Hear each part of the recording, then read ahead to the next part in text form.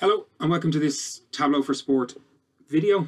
Uh, this one is around scraping data, so it actually doesn't have a lot to do with Tableau at the moment, but I am going to show you how you can bring all of these different sheets that I'm going to make back into Tableau in a second part. So this is where I want to be able to get data from a source, in this case fbref.com, have it in some sort of automated format where it's, it's continually getting the latest data, and then, as I said, feeding that into Tableau ultimately. Okay, now just one quick disclaimer, I've no idea around the legalities of scraping data and what the terms and conditions of various websites are. This is completely just a tutorial on a how-to, not uh, not permission to do whatever you want with this with this data. So you need to figure that out, that bit out yourselves. Okay, but hopefully this will give you an idea of how to get kind of regular data into into Tableau. So let me just start at the end in a way, and let me show you what I'm what I'm hoping to create. Okay, so within uh, the FBref site, if we were to go to Premier League, I was interested in scraping some of the data, but I wanted it at a match level. So a lot of the tables here, and the information is really great on this site, driven by StatsBomb, um, but I wanted to get it at a match level. So if I click into Liverpool here as an example, there's a match logs section and I picked shooting as my example. But you can see here there's goalkeeping, passing, and so on.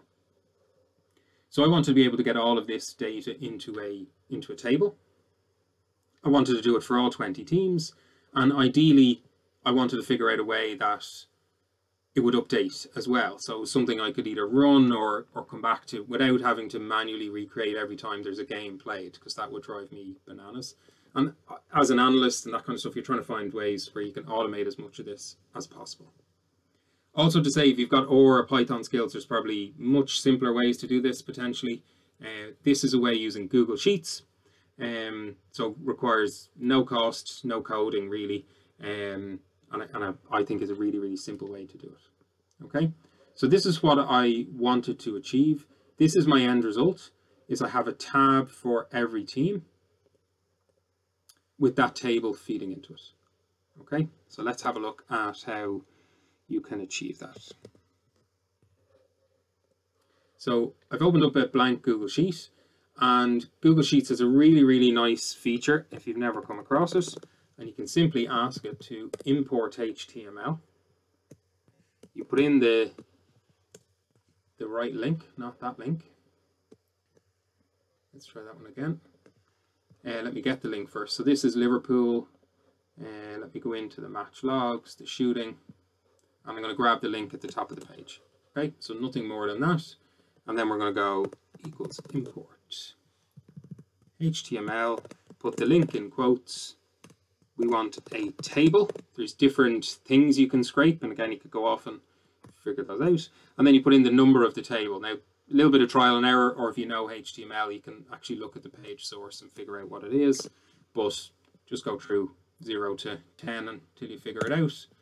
And as if by magic, there is the table of information for Liverpool. Okay. So in itself, that's really, really useful, really good. You could do this on any of the FBref site uh, pages and the same thing same thing happens. Just to say it does refresh, so I would have done this on another sheet uh, yesterday before the Liverpool game, and when I checked this morning, the uh, Brighton game was had, had updated. So this is is refreshing. I'm not entirely sure how often, but it is going to the site and picking up new data. Okay, so you've now got a dynamic table uh, in Google Sheets, which is as a first step is brilliant.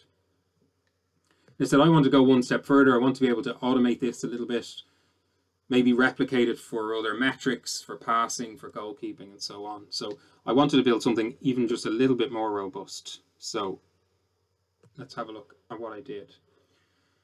So I created this kind of master template sheet here, and I wanted to deconstruct what one of the links looked like. So if we take a look at that Liverpool link that I've just pasted here, we can see that it's made up of the standard link, then a unique identifier. Each team has a unique identifier.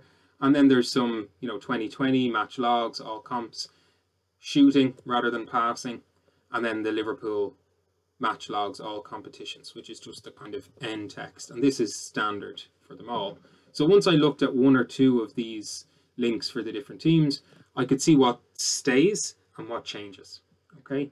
And the two thing obviously is one is the team name and secondly is this unique identifier. Okay. And I could get that unique identifier if I go back to Premier League.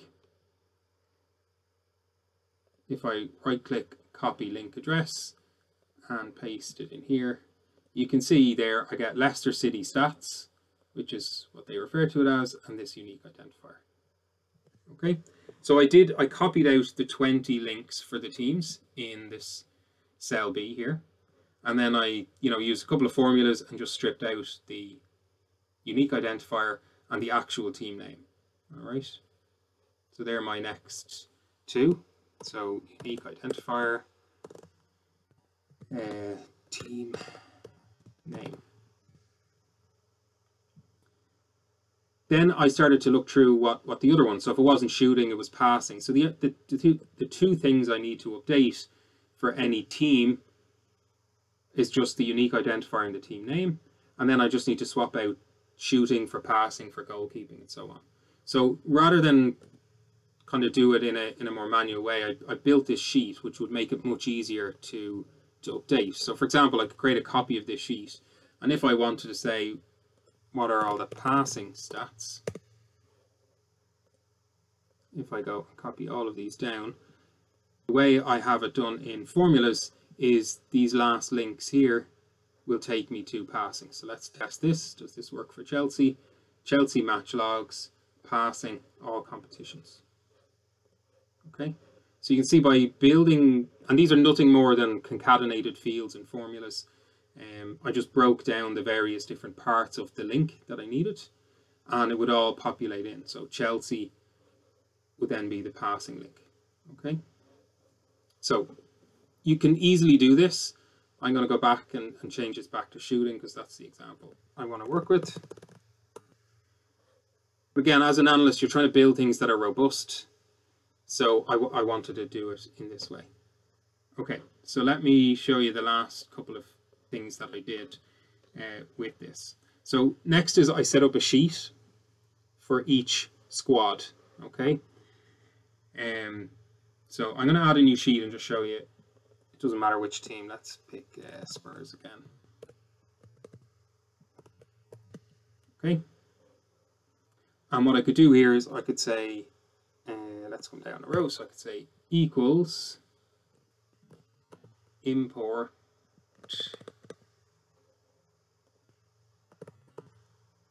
HTML.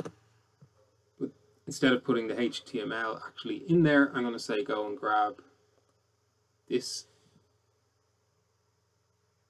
link, table,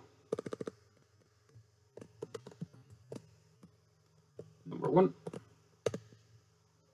You can see on this Spurs 2 sheet that I've created, there is the table imported, but it's imported now from the link. So if I update the link, which I did to passing, this would then update as well. Okay. Now, one thing I did notice when I imported it is every row is there twice for each team. Not each team. One is one is actually the team you're analyzing, Tottenham in this case, and one is the opponent in that week. It's it doesn't appear in the table, which is funny. But when I looked at the code of the table, there's a, there's a hidden row for every game. So I needed to add one more step to this. So what I did was insert a link here or a, a cell here and I simply put a Y or an N.